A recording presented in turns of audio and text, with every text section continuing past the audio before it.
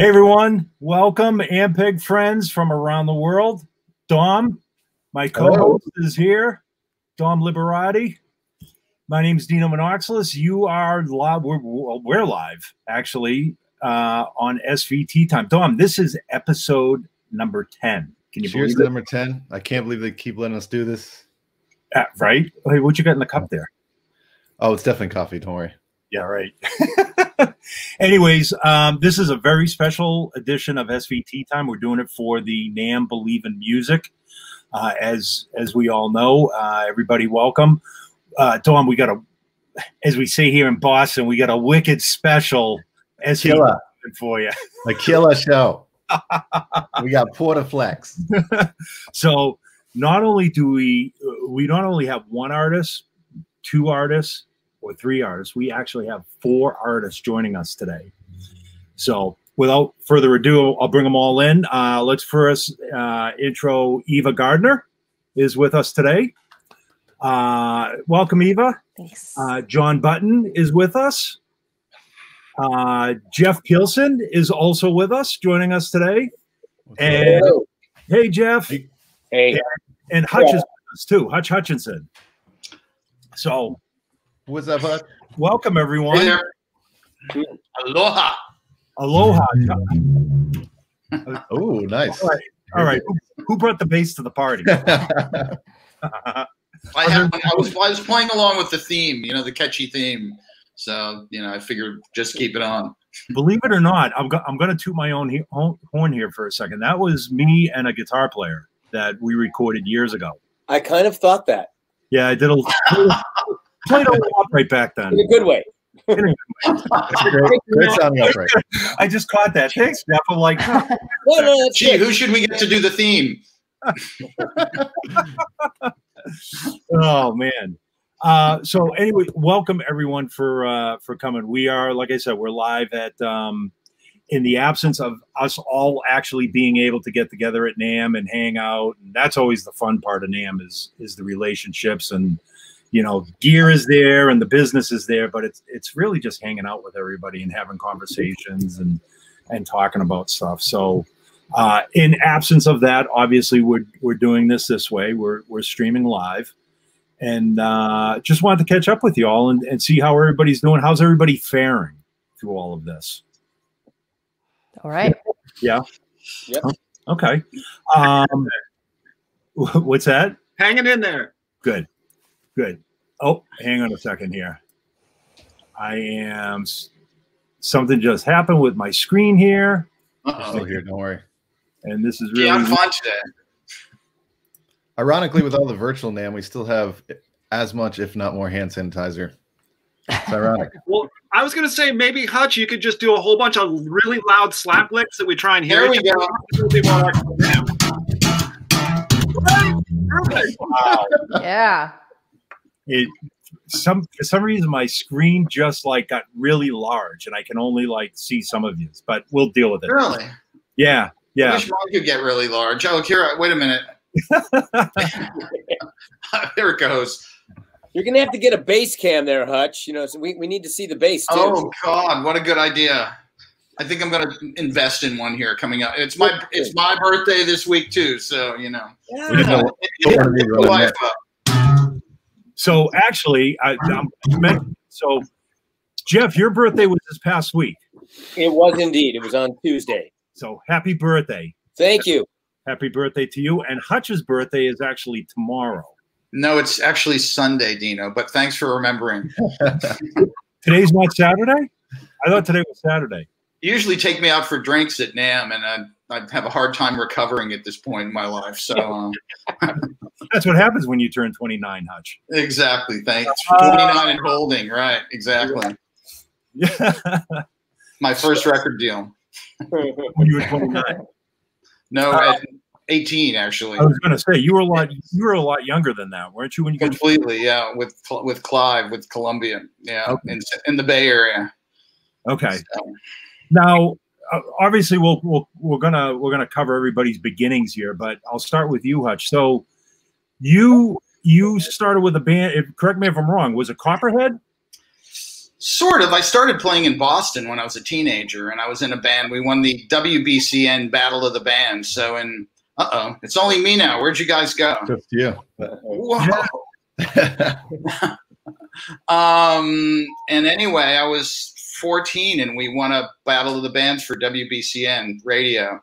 And uh, my old friend Jeff Skunk Baxter took the band in the studio, and that's really when I I cut my first record. So it was about I was about it was about 1966 maybe. And it was on an Ampex three track. That's how old it was. Mm, wow. And, um, yeah, exactly. I'd love to have that now, actually. But uh, Yeah. left, right, and center channel. oh man, I and, bet uh, it amazing. They were amazing machines. Yeah. Yeah. I mean, it was, and then basically through the late 60s, I watched it go from a, that three track to a four track in 66, 67 to, um, to, uh, first eight track I saw was in New York. And then the in 1970, I was in the Bay Area, and I remember when they brought in the first MCI 16 track machines into Wally Heiders.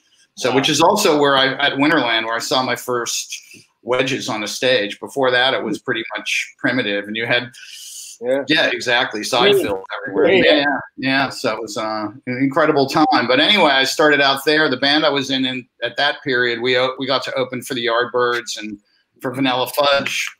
Props to Tim and uh, Carmine, and um, we opened for a bunch of different. We opened for Moby Grape, and it was sort of like between that and seeing the other bands, making friends with John Entwistle, and you know. Uh, and a number of other people who I met in my teen years. I mean, it sort of sealed the deal, and I, I wanted to move on and I wanted to make records. So I basically I went to Berklee for a moment, and then I headed west. And luckily enough, I ended up with some great Latin. I worked with some great Latin musicians in in the Mission District and in Oakland.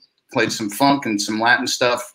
Coke Escovedo and uh, his brothers, and um, and uh, then I ended up in the Bay in Marin and playing with Mickey Hart and uh, John Cipollina, and that led to the gig in Copperhead. So that was sort of I got into the the Bay Area jam band scene early on, and uh, I left there in '74.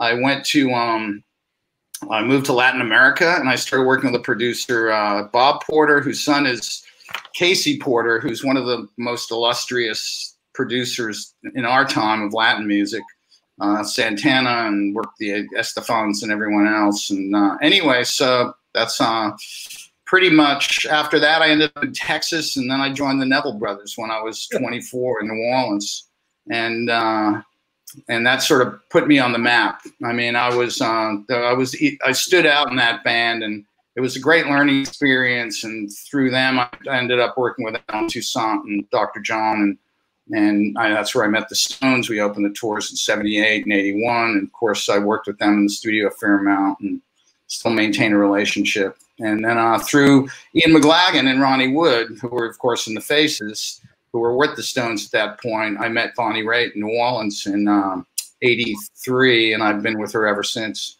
Wow. So and that led to, of course, my working with Don Was and a number of other producers in the UK and uh, in LA. So basically, I played on 100 records for Don, maybe, and uh, a number of other people. Yeah. So, Incredible. and here we are today. And here we So- are today. Any uh, any good Entwistle stories? Mm.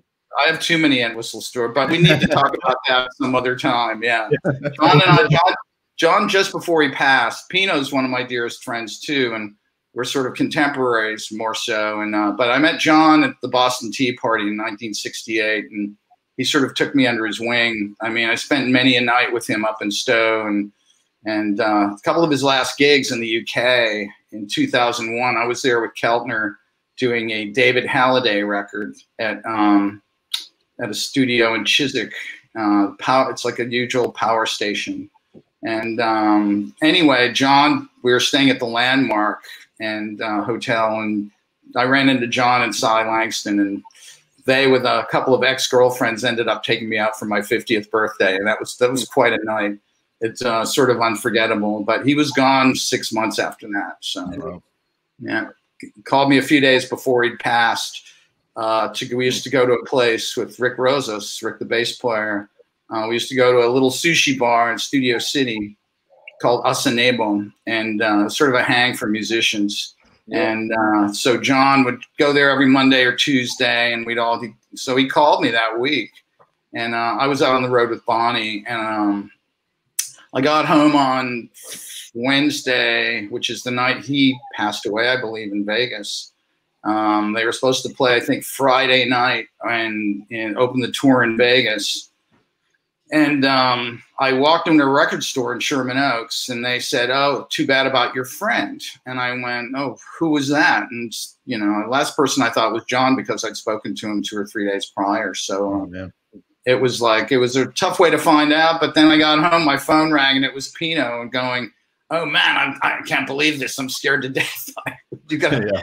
I was supposed to leave LA to go on holiday, and Pino convinced me to stay for the show because he needed some moral support.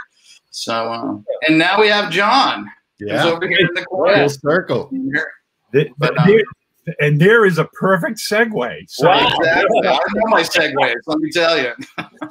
I'm not worthy. no, you are worthy. Believe me. So, Man. J- so John, tell us about tell us a little about your beginnings and how you ended up with you know one of the like most amazing bass chairs in the world. Well, I applied to the Make a Wish Foundation. Is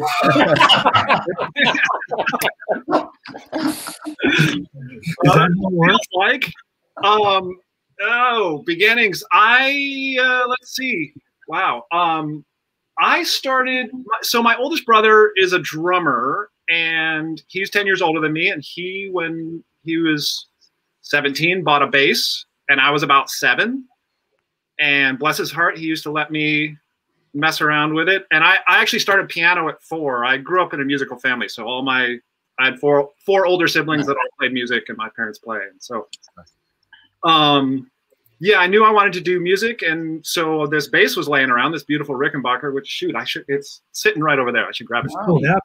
um, in a minute. Uh, but Shoot up. my brother had that laying around, and uh, he, bless his heart, let me fiddle around on that. And I started. I really enjoyed it. Um, and my brilliant mom uh, suggested I join the school orchestra um, in third grade. So I started playing in the orchestra, reading music, and taking uh, private lessons uh, on classical upright bass.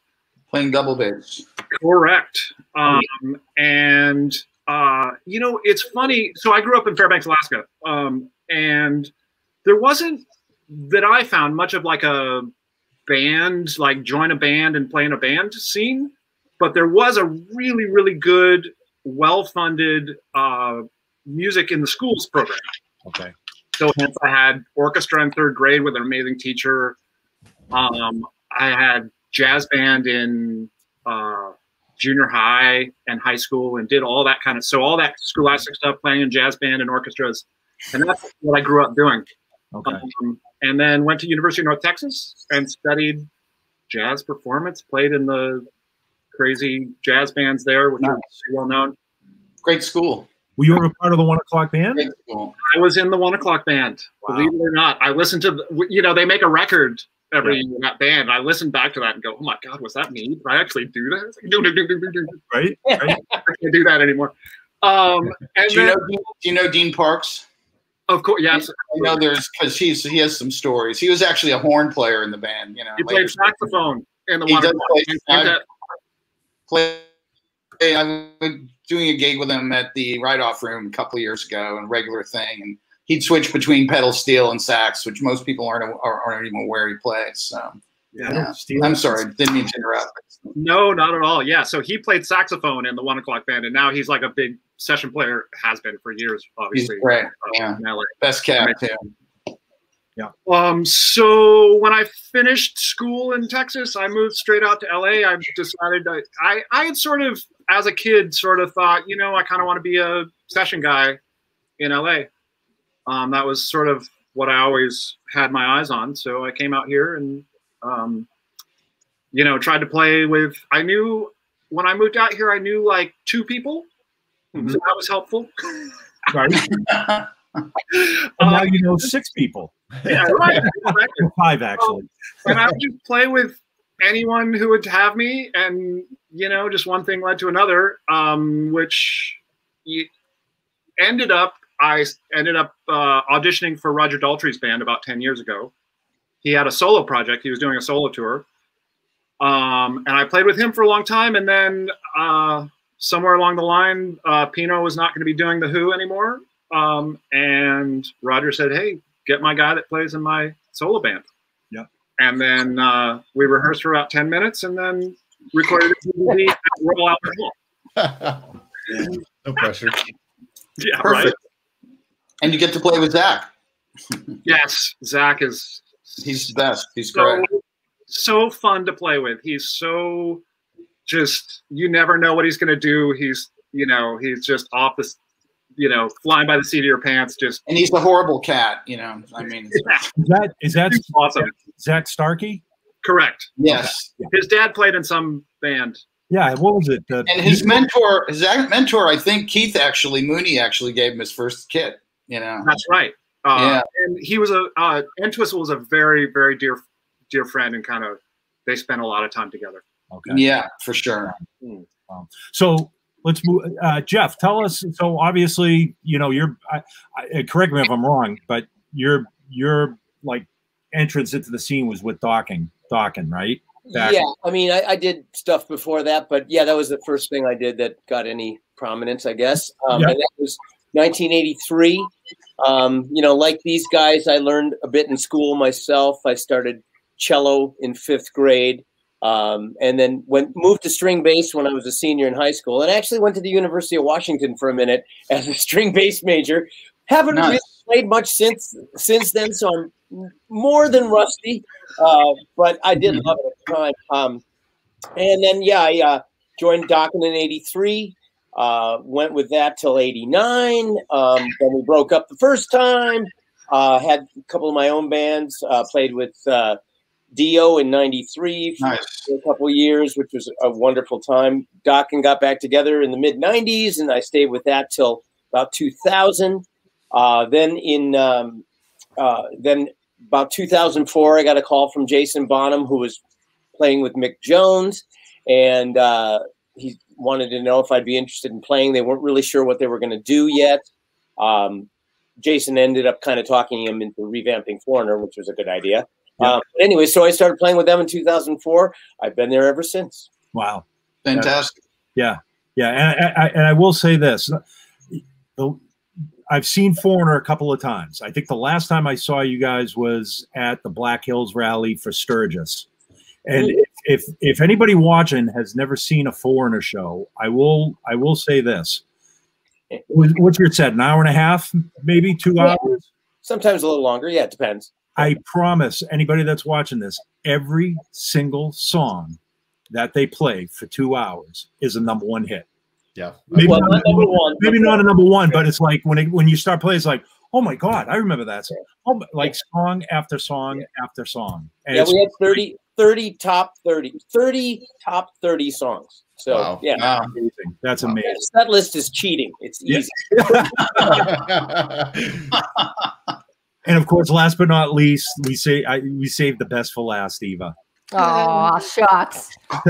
Really the cutest. And the, and the cutest. Okay, so tell tell us your story. Yeah, well, I mean, I grew up in the music mix, really. Uh, I mean, Hutch will attest to the family that I grew up in. Um, I grew up with a lot of the same folks. Like my dad was uh, a bass player, and uh, so I grew up around. friend.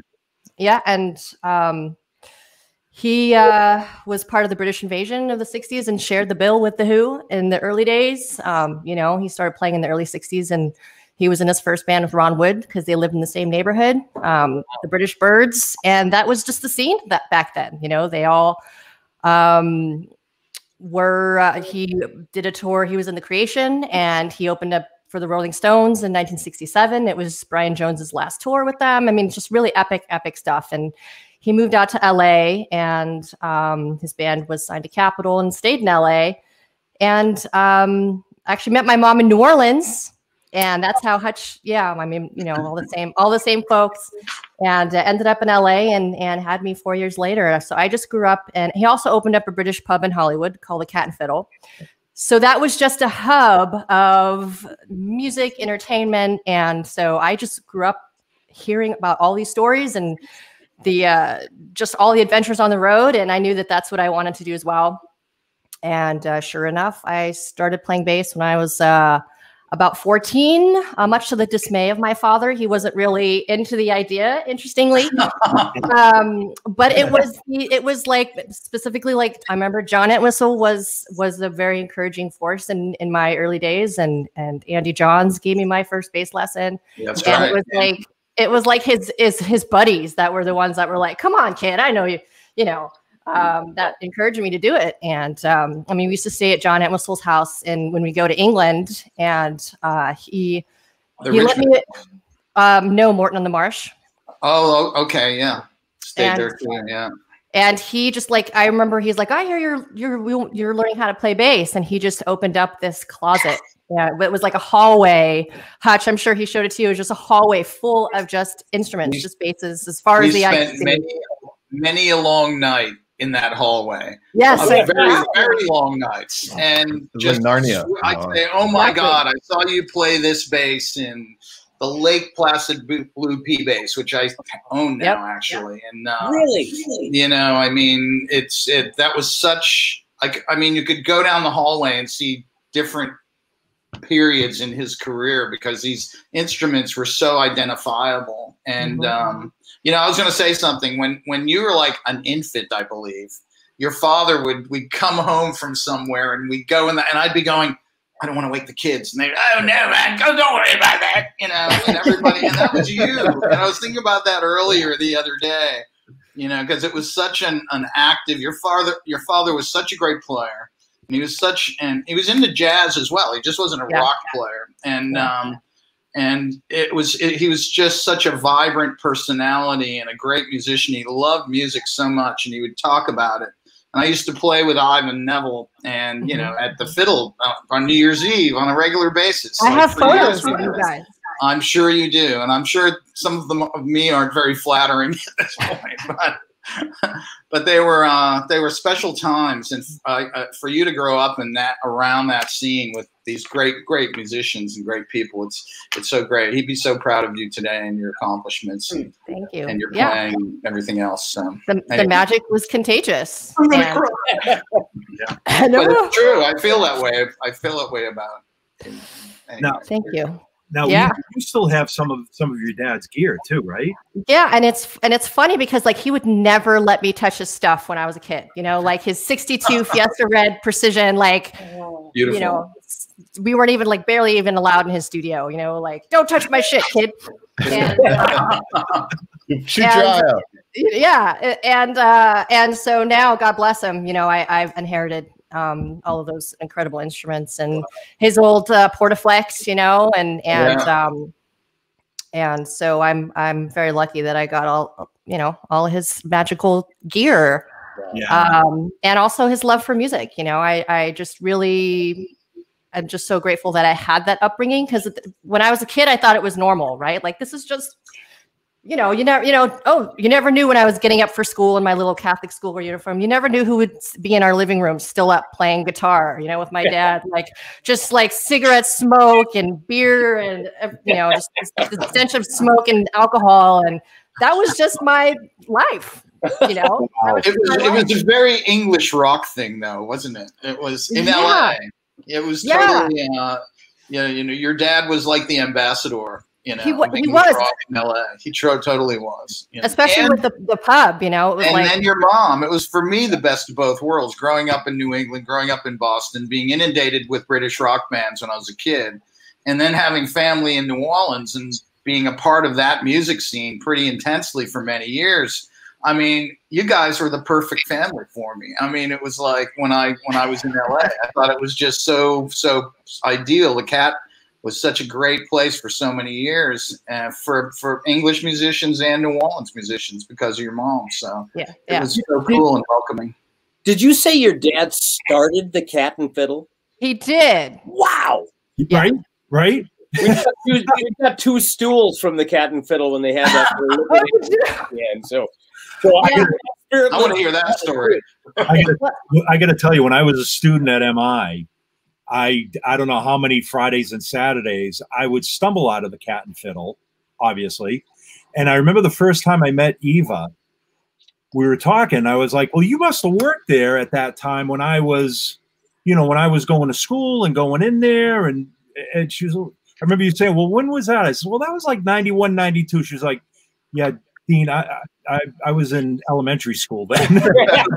oh man, I really feel old now. Right across the street. Our elementary school was right across the street. It was that big that big church oh, uh. Yeah. across the way. So we just walk across the street when my sisters and I were done with school in our little uniforms and do our homework in the back room. And Whoa. like literally grew up in a pub, you know. And as soon as we were old enough to be put on payroll, which is 16 in the state of California, uh, Right? We all became, you know, I started out as a hostess and then worked in the office. By 21, I was slinging drinks behind the bar. And then uh, when I started touring, um, you know, I would work behind the bar, but in between gigs. and amazing. it was just, yeah. It truly is legendary. I came from like middle of Ohio, knew nobody out here, and I knew within the first month, word of mouth, that that was the place to hang for Mhm. musicians. It's insane. Yeah. And it's funny, my mom said, uh, as she, part of the reason why they opened the cat was to get the party out of the living room. Genius. Because like we, me and my sisters came along, you know, my parents had kid, kids now, so I was like, all right, Kim, get the party out of the living room. So it was his his Start- other, Start monetizing the hangs, you know? eh, eh, yeah, that too. Monetizing Why not? act. Good book Yeah. title. And he was the, he was the host with the most, so he he loved it. It was uh, was. it was and and it, it brought it's brought a lot of joy to people all over the world. So Yeah. Oh, most definitely. Most definitely. And Okay. brought a lot of people together. you Yeah. Exactly. many Different places and cultures, you know, Yeah. so wonderful. Hey, Yeah. um, I want to talk. You know, obviously, you know, with everything that's going on with COVID and whatnot, we've the, the industry has been like basically shut down for nine months, ten months, going on almost a year now. What, you know, obviously, you, we you all come from touring backgrounds, but you also have studio backgrounds as well. But what have you been doing in the interim to, to keep busy, to keep your sanity too? Of course. I'll start with I'll start with you, Eva. uh, to keep my sanity.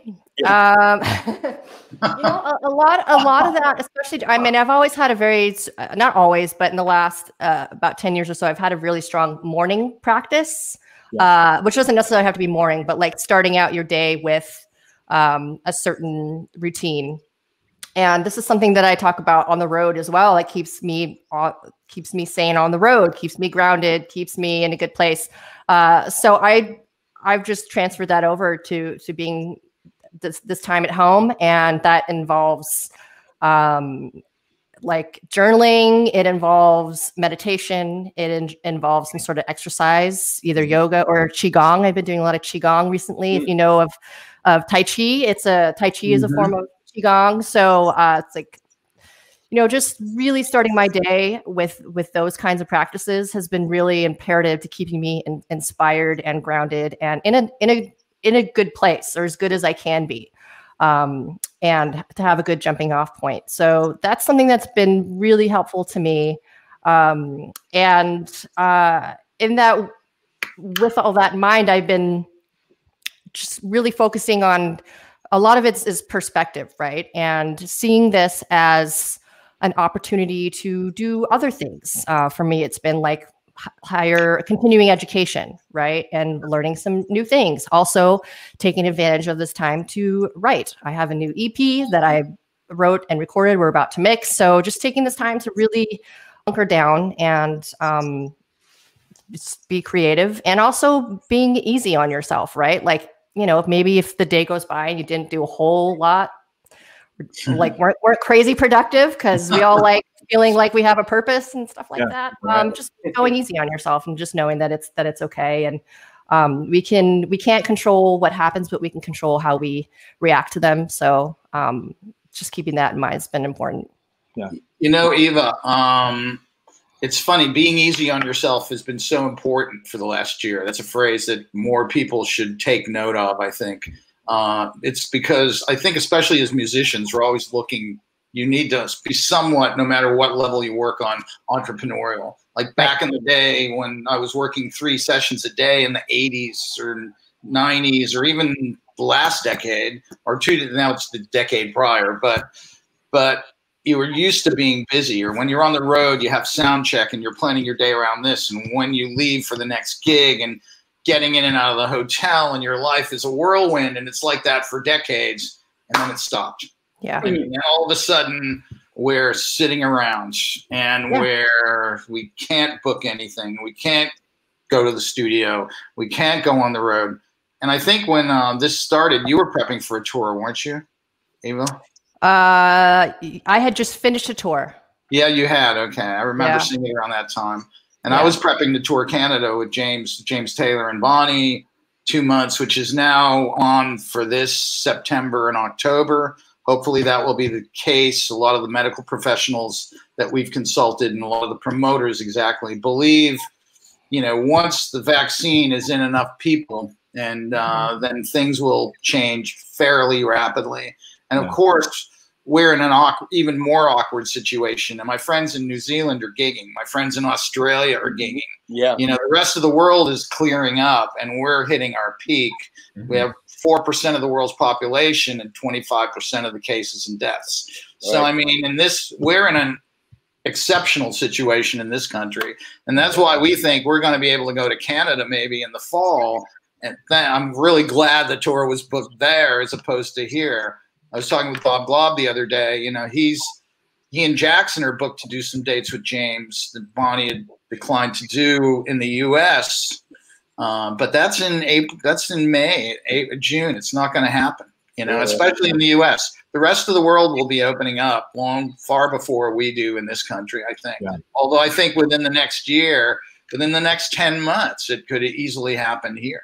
You Yeah. know. So, but it's um, it's an exceptional situation, and we need to do exceptional things to overcome it. Yeah. Yeah. As musicians. Um, so Eva, we'll come back to your EP here in a second too, because I want to talk a little bit more about that. But I also know Jeff, you have you have a release coming up pretty soon too, correct? Yeah, well, actually, I have one out right now that came out a month ago. It's called Heavy Hitters. It's a project I'm doing. I did with uh, George Lynch, Okay. Dokken bandmate. Uh, and it's us. It's a covers record. We basically got asked to do um, to do it from Cleopatra Records because we had done a song for a re-release George had done, and they loved what, what it was, which was a cover version. Um, so they asked us to do a whole record of basically hit songs from various decades and us do kind of our thing on it. It came out great. I'm very excited. Like I say, it's called Heavy Hitters. Okay. Um, that's out. Uh, and then we have the our second End Machine record. End Machine is a project I also have with George Lynch, and originally was also with Mick Brown, who was the drummer in Dokken. So it's three of us from Dokken and Robert Nice. Mason, singer from Warrant. We put out a record a couple years ago. We're now putting out the second one. It's all finished and done in the can. So I did was able to do two records, a lot of it remotely during the pandemic, which was great, kept me sane. Um, and uh, the End Machine record comes out April 9th, but I think the first single is going to be end of February. So looking forward to that. And um, and uh, yeah, just trying to keep as busy as possible. But you've been you've also been producing other bands too, if I'm not mistaken. Did you did the last Last in Line album too? I did. Well, I've done both Last in Line records, which is for those who don't know, it's it was the uh, it's the group of the ex Dio members. So it was originally Jimmy Bain, Vinny Appice, and Vivian Campbell with uh, Andrew. Uh, the singer is Andrew. Um, oh my God, I'm spacing his last name right now. I Holy crap! yeah, my mind is damaged. Uh, anyway, uh, but, um, uh, so they did. They've done two records. I produced both of those. Uh, Jimmy, of course, passed away in Mhm. 2015. So Phil Soussan is now the bass player. But yeah, I produced those two records. I produced a Warrant record. I produced an Adler record. I mean, not all in the pandemic, but yeah. Right. Um, so yeah, producing is actually a big passion of mine and something I like to do, and I have been able to do during the pandemic, which is great. Um, like Ava, I also, you know, have a morning ritual and a yoga meditation routine, which has kept me very sane. I've also been teaching uh, a meditation class on Monday nights, 8 p.m. Eastern, 5 p.m. Pacific, which has been really cool. Um, it's all virtual. Uh, and it's uh, if you go to yoga at hotforyogascb.com, um, you can sign up for the virtual classes. There's also yoga classes. There's also Pilates classes available virtually. So it's a really nice little virtual package if you're into that too. I'm right So it is- just into meditation, but uh, it is. I, I like Ava. I find, or and, and Hutch too. I find that this is a time to kind of take a pause, kind of reflect on your life, do a little inner Mhm. work. It's a great time for that. And and you're right. If if that's all you accomplish in a day, that's okay. I do love staying busy, but I'm learning to kind of relax a little more, and I like that. Yeah, Yeah. Dino, we have the most woke artists, I guess. Dude, I'm not worthy. I'm, Yeah. I am just, I'm proud of everyone. That's all. yeah. You know, John, don't, John, another don't screw thing- this up. Seeing that we're here for Ampeg, another thing I found that I'm I'm really enjoying here is like experimenting and checking out new pieces of gear that's someone will come by or someone will send, and um, that's it's it's a lot. Even a lot of stuff on my pedal board when I play live. I'm not familiar. I mean, I just start throwing knobs around, and and this actually gets gives me a chance. Like your uh, SCR-DI, which I love Yes. using Yes. my yes. interface here. Um, I know a couple of these other. Yeah, there you go. I live by this thing now, you know, and, I, and the old tube DIs, you know, I'm, I'm a big fan of those, and I, I'm not sure if that's ever coming back, but uh, I've been encouraging you guys to to go to Wouldn't that be great? to do a redo of those tube DIs. I have two. one was stolen out of my truck. I I realized I left one at a friend's studio, and I was there in November doing an upright track, and he says, "Hey, why don't we use your Ampeg tube DI?" And I said, "Well, it's not here. It's in my my studio gear." And they said, Johnny Lee Schell goes.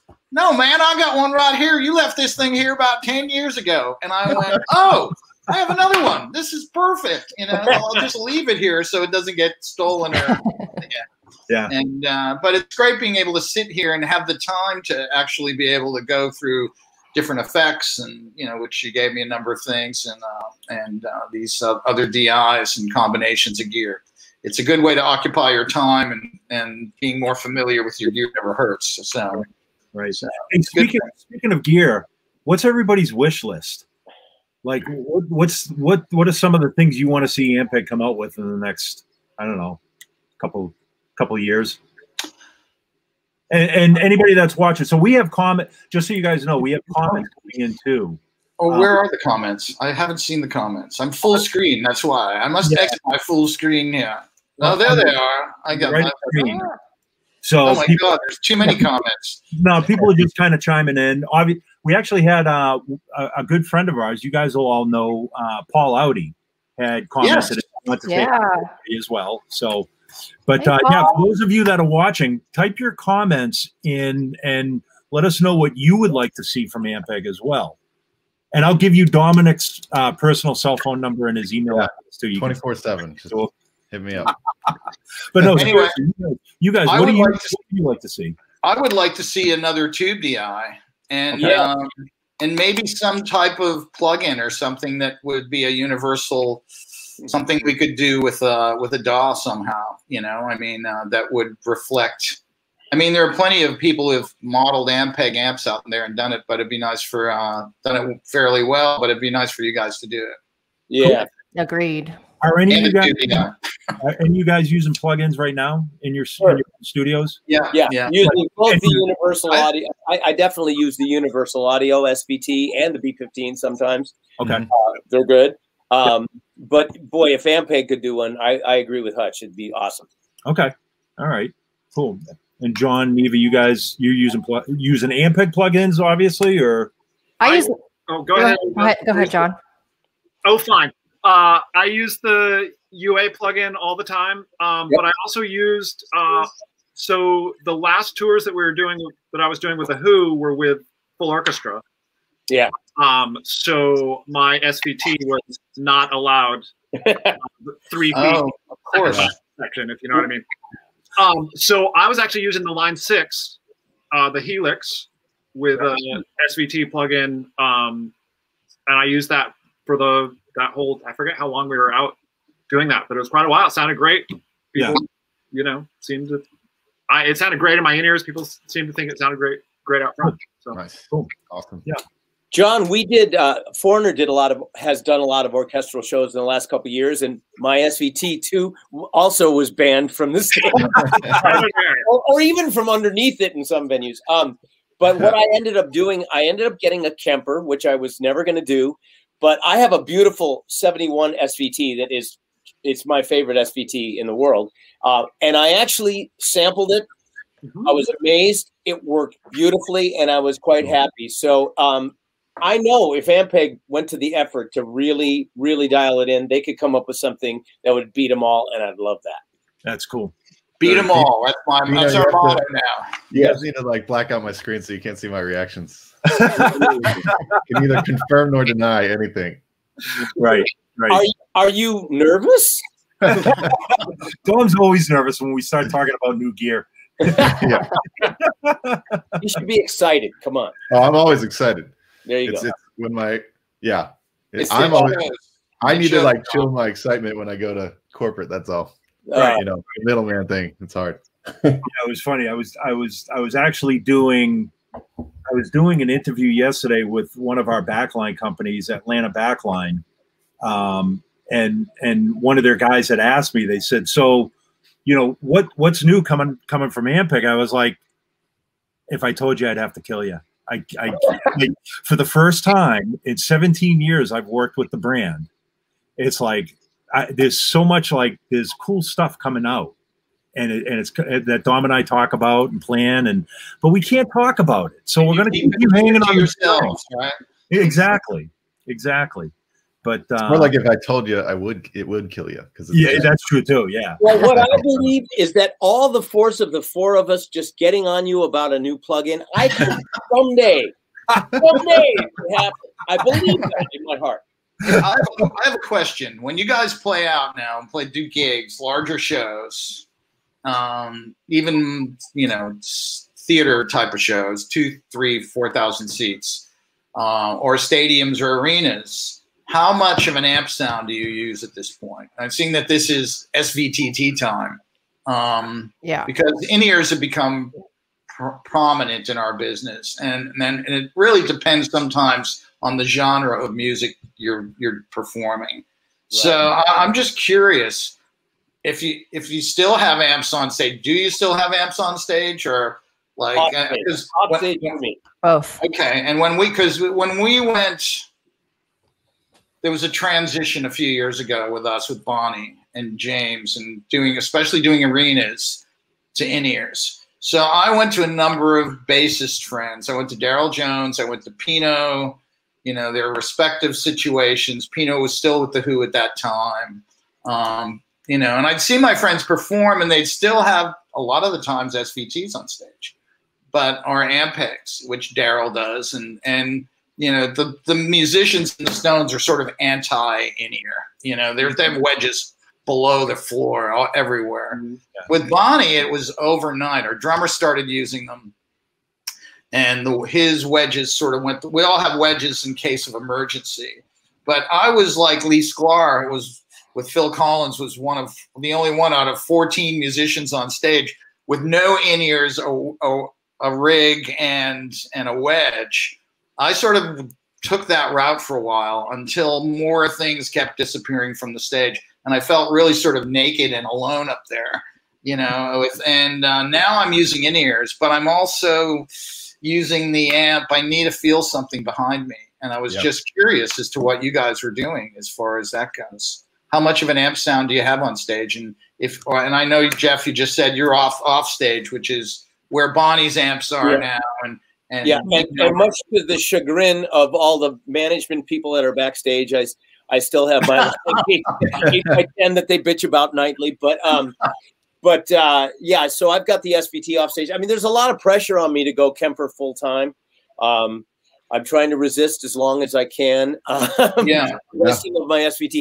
I I do feel a little bit of it off stage if it's not too far away. Yeah, But- yeah. Generally, we have a wonderful monitor guy who Right. uh, is really good at, at giving you the feeling of air. Uh, in the Right, right. Uh, And So- also with- in my in ears, I'm insistent upon having a lot of room sound and a lot Yeah. of house, so I don't lose that feel of playing in a big room.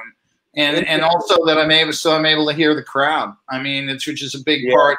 That response that we get when we do play is such a big Right. part of what we do. I believe. You know. Yeah. And bass itself is it's so visceral. You you just I don't yeah I don't know how I can't ever just go in ears. I was in mid tour once and my bass uh, rig just disappeared from stage. Nobody gave me a heads up, and I was literally showing up to sound Mm. check, and I was like, Oh, oh, that's okay, here we go. Yeah, here we go. Yeah. So a, lo- Well- a, lo- a lot of the gigs that I've done, I'm w- w- we're at the mercy of the show creator, and Right, a lot right. of time, us as musicians don't have the choice. Uh, when we do festivals and stuff, all we're lucky we get all of our amps because it's like festival vibes Right. and Oh, rock and roll band vibes. But on a lot of on a lot of these gigs, when it's a clean stage and there's a lot of um, you know, lights, camera, action, dancers, uh, aerialists, stuff like that. The way that our wonderful monitor guys uh, remedy not feeling the bass in, in conjunction with the in ears is uh, butt kickers. Yeah, Yeah. that's what I was Oh, gonna ask yeah, if you, right. you all So were we're feeling with it. The Yeah. butt kicker thing didn't really work for me. Um, Really? You know, our drummer lives by it. Funny thing, another funny thing is when it was working for me, being the only person with an amp and a wedge still, and you know my level wasn't loud enough so that the front of house engineer it really disturbed him last that much. I mean, there's a certain amount of stuff coming off stage anyway, and I think he felt having the bass sound a little more warmer, being you know unidirectional, coming off the stage was even better for some people in the front rows of the house. Yeah, yeah. You know, um, but still, it can't be loud enough to be offensive. You know, it's funny. I asked Tony Levin, was on, who's a dear friend, who's also from Boston, uh, um, about the same thing, and he sort of laughed. And because in ears are such an integral part of what he's done with Peter, with Peter Gabriel for so long, and with King Crimson, he said, "Well, Hutch, King Crimson has three drummers. If I didn't wear in ears, I wouldn't know where one was up there." Yeah. you know, and and and um, and he said with Peter, I mean, sometimes he's hanging on straps flying through the air from the ceiling, so it's like you know, it's having an having an amp and not having in ears isn't even practical in those gigs. Yeah. So I was that- wondering with you in Pink, I don't know if you did any aerial ba- acrobatics or whatever. Me Or which- personally, Yeah, I, I keep putting it in the suggestion box and like nothing. I will. I will put that in the suggestion box. Yeah.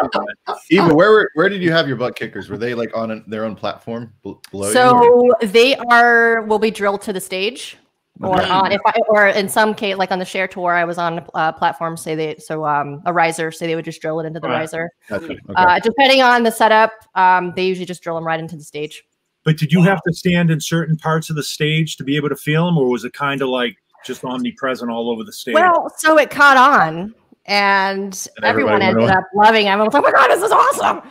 So, so they were drilled, started drilling them all at like the the drummer had, you know, had them, and um, so they started drilling them kind of all over the stage. Yeah. and uh, yeah, I mean that's really it. It's really been been great when we don't have the luxury of an amp. I was And gonna say, as- as time moves forward and those, and maybe that trend continues or heightens a little bit more with having less footprint for an amp or less uh, stage volume with an amp. I guess what is, um, I guess some uh, desired form factors of that. Like, was the platform enough? Would you rather have something that's kind of like on you physically but not really seen? Or So I've heard about the I don't know who it is, but someone's making um, a, s- a similar device that's on a strap. yeah, So that's physically on you. So if you are strapped, if you if you're if you're uh, wireless, you know, when you're running around stage or whatever, Right, it goes with you. So that's I've actually tried those. Wow. You have and they're pretty great. Uh, a little bulky, like a little heavy. If you're, yeah. so is I it don't a know if you- I don't know if you could do your aerobatics with that, you know, but Is it a speaker? Is it a speaker in the little speaker in the strap or? it's just it's a transducer that vibrates. Yeah. yeah. It's Okay. called a backbeat. It's called a what? A backbeat. Oh, Back okay. Yeah, it would beat your back, wouldn't it? Yeah, back. Yeah, and you put it. The pro, again, the problem that you run into with something like that, though, especially if you're on a big production, now you've got your wireless pack for your bass, you've got your Mm. wireless pack for your in ears, and now you've got another wireless pack that you're strapping onto your strap. You're gonna eventually you're gonna look like Batman. You know, with all the pack strap. trying- And that's a bad thing. Yeah. I was gonna say, and the problem is, Where's my bass? I'm more of an Iron Man type of guy, but okay. Where are you going after the gig? I'm going to storm the Capitol. What do you think? I mean, Oh, you look like a. Uh! I just want to address one question here uh, from uh, from Nor- Norman Sawyer, who's I'd like to see Ampeg re-release the V4B. I've owned two through my career and always wondered why they dropped that.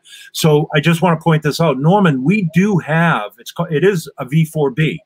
Uh, go to ampeg.com under the classic section and there is a 100 watt V4B there that is a dead knockoff of of like a early 70s, mid 70s uh, V4. It's I one of love my that amp it's my I favorite, my amp. personal favorite amp, really. really, myself as well. Bob Glaub uses it religiously with Jackson, and I mean, it's Oh, it's uh, one of my favorites for sure. It's a 100 watt SVT basically. You know, Yeah, it's, yeah, it's, it's a manageable SVT.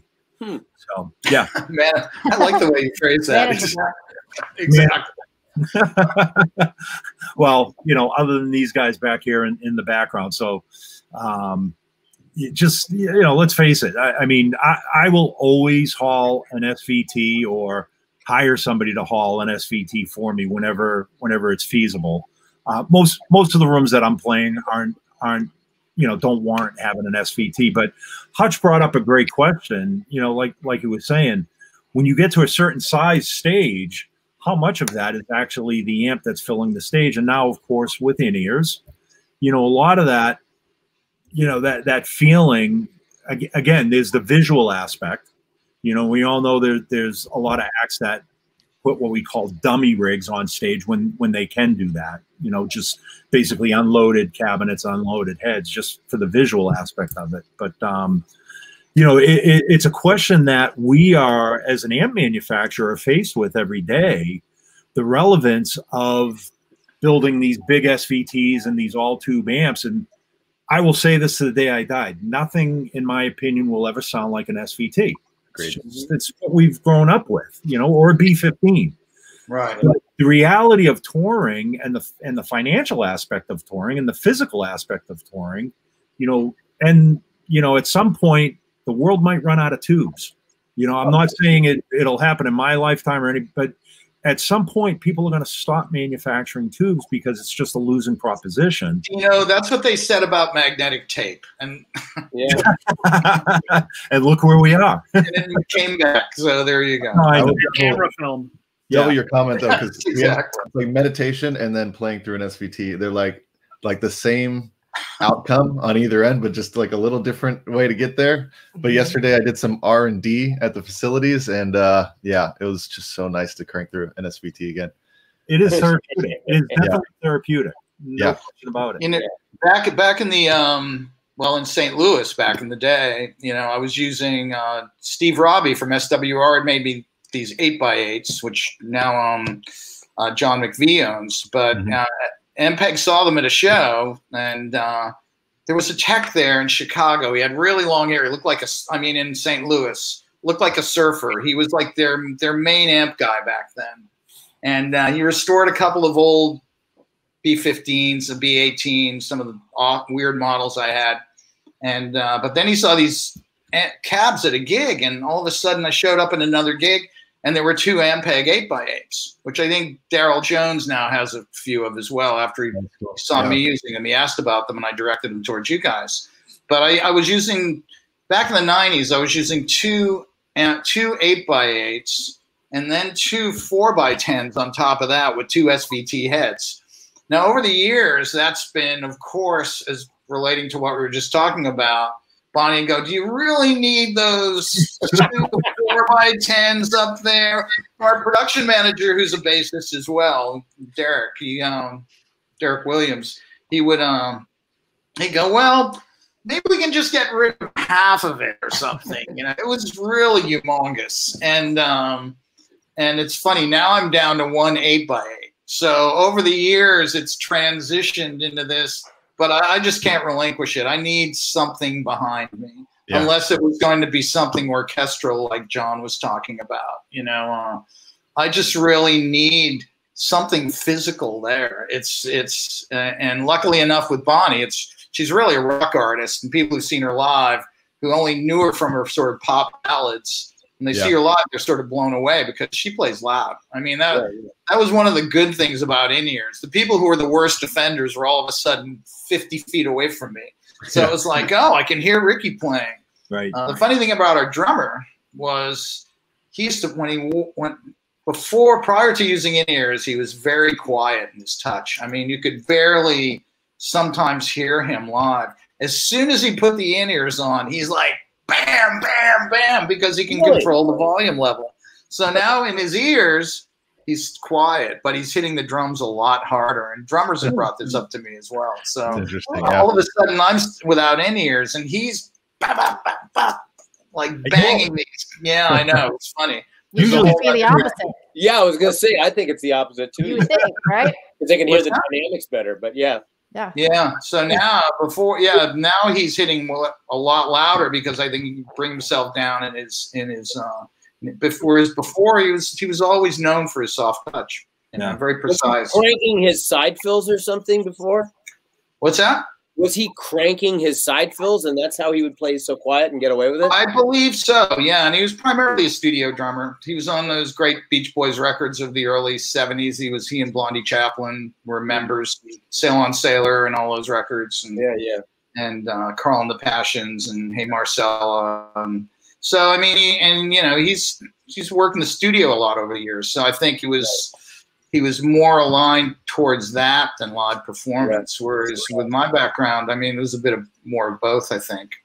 So, Gotcha. but it's funny how in ears can change the way someone plays, and that's what Leland said to me. He said, "Man." You know, I'm going to wear headphones. I'll make a record. But he said, I want to do a gig. I want to hear my amp you know Yeah. and and so he's still a holdout he will not he refuses to wear in ears no matter who he's playing with but Yeah. he's leland and he can get away with that so Right. Right. Right. Hey, Eva, uh, I know I said we come back. Tell us about your EP real quick. Sure. yeah.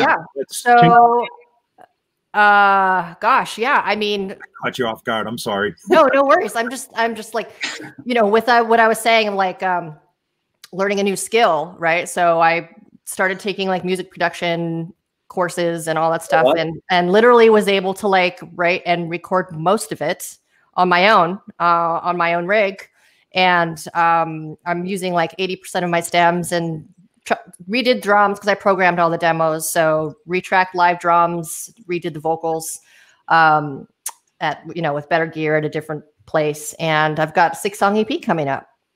Nice. Oh, Yeah. yeah. Yeah, fantastic did you play drums I don't play drums, but I'm good at I'm good at keep. I mean, I can keep a beat on drums. Yeah, if I yeah, wasn't a yeah. bass player, I would be a drummer. Um, Oh, I do enjoy the I drums. wanted to be a drum. I wanted to be a drummer, but my mother didn't feel they were musical enough, so it was off to the cello, and then then the Ah. bass, mandolin, and and I, then I saw Wilson Pickett when I was 12 years old. I think Oh, uh, wow. Billy Cox was playing bass, and I believe Oh, Hendrix was I guitar player at that time. It was Wow. 1965, and it was a matinee performance uh, at a place Dino might know. It was called the Surf Ballroom. It was in uh, south of Boston in Nan- Nantasket. And uh, I was right on the stage. Literally, I was right in front of Billy Cox. Huge, awesome Memphis, Nashville band. And I was like, I went home to my mom. It was like, I need a, I need Yep. a Fender bass. I and love Billy sort playing. Yeah. yeah, he's, uh, he's one of my favorites. Anna he's sort of Gypsies. an unsung hero, actually, to a lot of people, I think. Yep. And, Yeah, uh, absolutely. Yeah, far more influ- influential than most people give him credit for. Yes. And uh, yeah, anyway, I, I, a couple of months after that, I saw Howlin' Wolf, and uh, his bassist was using a, an Ampeg EB-0, and uh, and um, Gibson, uh, yeah, yeah, Gibson EB-0. and and uh, and a B15. So I that was my first B15. I said to my mom, I had a Fender Bassman, and we traded it in for a for a B15, and uh, I got an EB-0 actually in '66, which my mom bought me, and um, I still have it today. It's That was the first bass I ever played. Andy Johns lent me his EBO. Oh, Because my yeah. dad would my dad would let me touch any of his stuff. So Andy I let me know. his, his I'm, EB-0. I'm big on, I'm big on short scale basses. I really, really like Yeah, them. I love them. cool. Yeah. But then Andy's and I gave it back to Andy, and then he stepped on it and broke it, and then tried to blame it on me. I'm like- I'm like 14. Oh, sorry, sorry, sorry, Ava. Hey, Andy, I can see that. Yeah, I'm like, You guys remember the Chambers brothers? The, the group, the Chambers brothers. They had that. Yeah, dear friends. I actually have Pops Chambers EB3 that he You played. do? I do. It's My God, I play with Lester all the time. I've worked with him wow. with um, my friend Roger McNamee. We he he Lester and his son, one of the other brothers. I've played on last Lester's last few records, and uh, Wow. and those Wow. guys are. When I was a kid in Boston, they lived in a town called Arlington, which was adjacent to Cambridge, where I grew up. I didn't And uh, I met them when I was 12 or 13 years old. Once again, that was a big time for me in music. And uh, it was the mid 60s, and there was a lot going on. There were a lot of English bands around, and that was sort of a, a hub. And um, and so, uh, but Lester's still a friend. I played with him at Bottle Rock uh, up in Napa uh, a couple of years ago with Roger and, and Moonalice. And it was quite, and anytime to this day, it's funny how the song Time has transitioned through generations because this is a young hipster, you know, wine and cheese rock festival crowd. And Yeah. man, they were as soon as those first ding ding ding ding, everybody's like, "Whoa, we know this!" You know, Yeah. it's it's just one of those rock anthems. It's like Baba O'Riley or something. As soon as people hear that intro, they they know what's coming next, and they're always ready for it. So I'm glad most of those guys are still with us, and Yeah. uh, Yeah. and that's amazing. You have that bass. Well, I've I've seen that bass in action many times. That's Wow. Wow. so cool. It's an early 69 EB3. Very cool. I've got to I've got to come out and see it when I'm back in LA. Please do. You're welcome anytime. All of you are. Thanks, Coming. Thank you. Hey, Jon, you got to show us your Rickenbacker. Okay, let me go grab it. Oh yeah. Yep. Before we go, we got to see this because there was somebody on the side there that was asking to see it as well. Oh. Okay, while he's gone, let's talk. No, I'm just. I. Whoa! whoa. Yeah. Affordable. Oh, it's one pickup. Yeah. Yeah, it's affordable a three, right? model 4000, not a 4000. Wow. I think it So was that's cheaper than a 4001 because, you know, I've Yeah, Never yeah. seen uh, that. no binding. Wow. Wow, fantastic. Beautiful. One more Um, time on the front. Yeah, Yeah, really. Jeff and I got to put our specs on here. Yeah, yeah. Like- That's great, Jon. Wow. Cool. So they the ship- on it, which sounds. They shipped those to Alaska, right? What's that? They shipped those to Alaska. That's why I never saw it in, in New England, right? Yeah, all of them. All of the 4000s went to Alaska. They're like, ah, just. those- They don't, they don't need the second pickup up there. Exactly. What do they know? Exactly. Do you, uh, do you, do you use that on the road, or is that is does that stay home with you? Do you use that on the road, or does that stay home with you? Um, I used this with uh, Sheryl Crow actually. For a Okay. couple Oh, nice. Um, but uh, yeah, I haven't brought it out in years. I don't use it with the Who. The Who, I use a P bass. Yeah. Nice. Yeah. Yeah. Yeah. So, Cool. Nice. Pete likes Yeah, a thank, you, thank you for showing that. That that is beautiful. I've always been a fan of Rick's, but I just I can't get around to playing them. They just feel. I mean, I got big big hands and big sausage fingers, so a Rick to me feels like feels very small and, They're and- cool though. They, I, you know, with any different instrument, it makes you play different. Like they, like you said, they're so different. I Completely. very different on them. I love using it. in the Completely. game. That's a good point too. I mean, I I have way too many basses at this point in my life, and but that No such I thing. No such thing. but that was I think one of the reasons I, I acquired them all is because I'd be doing different dates. You know, I, I, the, fir- I did a couple of Ringo records, and the first one I did not have a Hofner. I had a Rickenbacker, you know, but uh, I needed, I felt I needed a Hofner. The song "Weight of the World," I I used a um, Uh-huh. a, a Tele bass and and but I you know I I ended up with now a number of Hofners. Uh, one I bought in Hamburg, Oh, you know, oh, beautiful cool. club bass. But I felt for the sound, the way he played drums, I wanted to have that bass. I mean, it was an integral part of the sound, and he was still using his same kit of drums from '65. So I figured I needed a bass that equated Nice. it. You know, Yeah, oh, that's beautiful. Those are all gorgeous. Yeah. Is that And- still your, You know? T-Bird, all original parts. Even has the mute, the felt mutes, which I've never seen before. Oh, nice, nice, nice. That's the one that's in your promo shot now, Jeff, isn't it? The one that we used for Uh, this. yes, it is. Yes, it is. That's cool. I, yeah, Love that bass. nice, nice. So, man, we're we're like we're right at knocking at an hour and five minutes, and Okay. uh, I just I just texted our producer to see if we're okay, and uh, okay, yeah, I guess we're okay. So, All right. uh, but listen, again, I all right. Sounds like NAMM now. I was gonna say now. That'll be- Can you do some more slapping and eat? Like, like, there you go. There we go. Um, yeah, listen, guy, I, I again, I cannot thank you guys for your enough for your time. This has been, it's always, always awesome to talk to you guys. I wish we were doing it in person. Um, I guess you know, i- i- in lieu of doing it in person, this is the next best thing until uh, until we can meet again or meet in person. Um, I'm just going to check our private or our comments over here if anybody has any like parting comments. But um, yeah, do you like I said, do you guys have any parting comments or things that you wanna you wanna plug or say or before we cut loose here? Um, we should do this again. Yep. And uh, this is a good panel. I, everybody's great, and it's been illustrative and fun. And um, and uh, I have a new bass coming out, a Lakland Hutch Hutchinson's short scale, Awesome. which is very nice, Oh, yeah. and, um, which I helped design along Do you have with a John. prototype there we can see? What's that? You Is there a it there prototype there that you, we can see? That's what I, I was actually playing. I was sort. of, I'm sort Oh, of beta sure. testing it as we speak. Oh, Nice. DJ, Great. short scale. DJ. Uh, Nice. Plays great and lots of fun. Love the color. Nice. Wow. Yeah, it's a Great. burgundy mist. And um, anyways, and uh, then I've been producing a couple of artists, a UK artist, uh, Holly Lursky, and working with uh, Knopfler with uh, David and Mark, who are founders of Dire Straits, and um, and staying busy here on Maui. I mean, we're getting ready to do a new Bonnie record, so I think we're going to find a studio where we can sort of sequester ourselves in a, a residential Right. studio somewhere maybe in Northern California, which I which will remain unnamed, but we actually already figured it out. So um, yeah, and then hopefully we'll all be on the road later in the year. Yep. Yeah.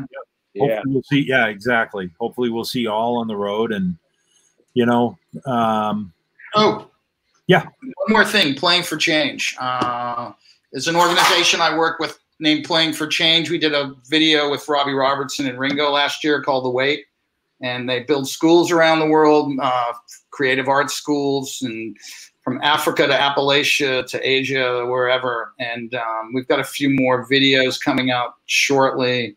We just did uh, we just did one with a bunch of friends here with Michael McDonald and Pat Simmons and some other folks and Keb' Mo' and uh, anyway, there'll there'll be a lot of releases this year. They're a really worthy organization.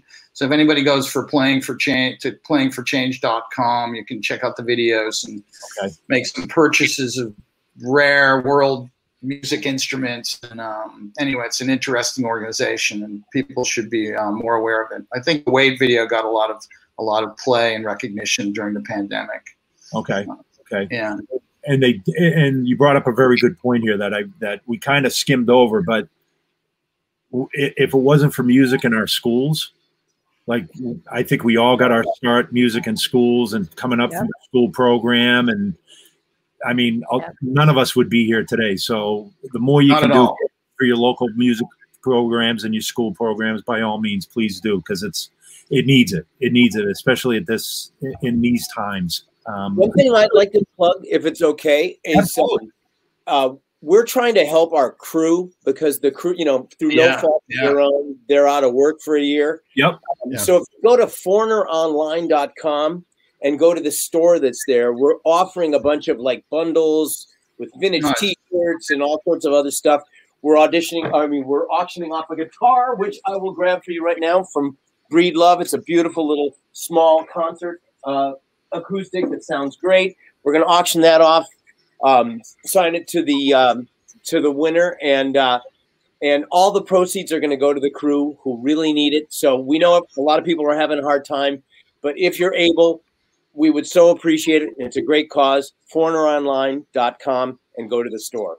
Awesome. Awesome. Thank you for bringing that up, Jeff, because that is that that's an awesome point. With you know, it's not Yeah. just musicians that are out of work through Yeah. all this. It's, it's I mean, it affects It's so our- many so many It's our entire industry, and that's what people don't get.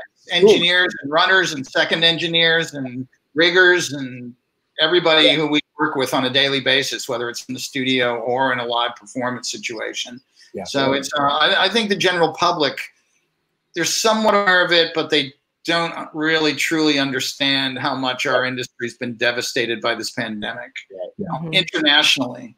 I Yeah. mean, because once touring stopped, it stopped on an international level, and Right. uh, until things are somewhat resolved medically, we'll, we we weren't going to be up and running for for a couple of years. I think. I, although, as I said, I believe that we may be touring Canada later in the year, but you know, in the, domestically in the U.S. and even in Europe right now, things have not been handled well, and uh, Right. and in the UK and in in the U.S. we're really sort of in trouble here. I think we have we probably have another year of this before Yeah. things start to feel somewhat normal. Yeah, yeah. Well, like I said, you know, any anything that anybody can do to help, you know, that that's I'm glad you guys brought this up because this this is a perfect forum to to reach out and and and get help to the people that need help as well. So thank well, you I think some, some of us too. I think you know we have residuals or we have some type of payment coming in from something we've done in the past. Crew guys ha- don't have that. I mean, Right. and e- even I hate to I hate to say it, but even agents who I- I'm not a fan of agents sometimes, but it's like you know, and uh, management all down the line. I mean, it's like Right. It's it's so all encompassing as Yeah. far as our business goes. Yeah. Yeah. And there are a lot of people having a really difficult time. So Yeah. hope they all do well. Thank you. Yeah. Well, everyone, I can't thank you enough. Thank you for joining. Uh, everybody watching in, thanks for joining. Like I like I was telling Dom at the very beginning, this is our tenth episode of SVT time, and hopefully, you know, the tenth of many more. Yes. We'd love to have you all back on at some point. Um, you know, so uh, again, thank you so much for joining us. Thank everybody for watching in. Uh, on behalf of myself and Ampeg and Dom, everybody play more bass, stay healthy, and we'll see you out on the road. Thank Cool. you. Yeah. Thanks, Thank you. Guys, Great thank you, being everybody. Thank you, I'm going everybody. to try to wake up. I'm on Hawaii time. So. See you guys. Love Thank you. guys. you. Thank you. Cheers. Bye bye. Aloha. Aloha.